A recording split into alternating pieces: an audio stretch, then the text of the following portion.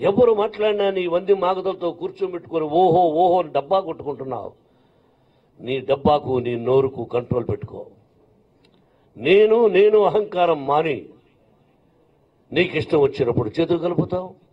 నీకిష్టం లేదంటే వద్దంటావు. ఎలా అయ్యా? అన్నగారికి తెలుగుదేశానికి విరోధి ఎవరు? కాంగ్రెస్. ఆ కాంగ్రెస్ ప్రభుత్వమే విభజించింది.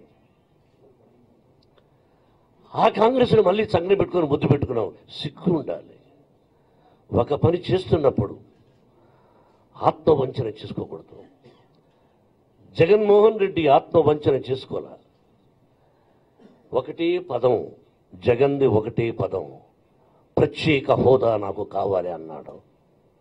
నువ్వేమన్నావు? హోదా లేకపోయినా పర్వాలేదు ప్యాకేజీ అన్నావు. చెప్పు.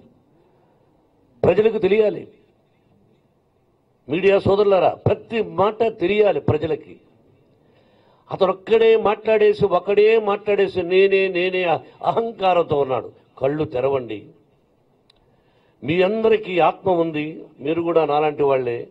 ఇసుక మట్టి అబ్బబ్బబ్బబ్బబ్బబ్బ ఇక దోచుకోవడానికి ఏమీ లేదు. Finish. Chandrababu party finish. No more Chandrababu party. తెలుగుదేశాన్ని నమ్ముకున్న సోదరులారా మళ్ళీ మీకు ఈ టర్మ్ లేదు కానీ ఇంకొక టర్మ్లో ఒకవేళ జగన్మోహన్ రెడ్డి బాగా చేయకపోతే ఎవరైనా కానీ చంద్రబాబు లేడు. వద్దు. కుటుంబ పరిపాలన. చంద్రబాబుది కుటుంబ పరిపాలన. అన్న మహానటుడి నందమూరి తారక రామారావు గారు అన్నయ్య మన కుటుంబ సభ్యుల్లో మనం ఎవరికైనా ఎమ్మెల్యే ఇద్దామంటే వద్దు వద్దు వద్దు వద్దు.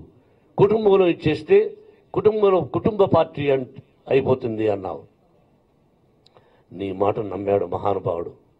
మరి నువ్వు చేసింది ఏంటి? నువ్వు చేస్తున్నదేంటి నువ్వు ఇస్తున్నదేంటి హరికృష్ణ ఎన్ని వేల కిలోమీటర్లు అన్న తిరిగాడు అన్ని వేల కిలోమీటర్లు తిరిగిన వ్యక్తి. ఏం చేసావు ఆ కుటుంబాన్ని? మీకు తెలియదు అన్నగారి కుటుంబం చాలా అమాయకులు. అందుకే ఇతను మోసం చేయగలిగాడు. మరి చెప్పండి అసలు నువ్వు అసలు నేను చంద్రబాబు మాటలను నమ్మిన వాడు ఎవడైనా నట్టేట్లు మురిగినట్టే అసత్య అసత్య అసత్య ప్రచారములు నిజాలు లేవు. అతడే దొంగ. అతడే మోసగాడు. అతనికి నీతి న్యాయం ధర్మం లేదు. ఓన్లీ మనిషి ఈరోజు ఒక మాట రేపు ఒక మాట యూటర్న్